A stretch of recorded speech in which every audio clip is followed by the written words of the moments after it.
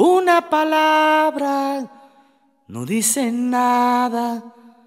y al mismo tiempo lo esconde todo como la lluvia sobre tu cara o el viejo mapa de algún tesoro como la lluvia sobre tu cara o el viejo mapa de algún tesoro.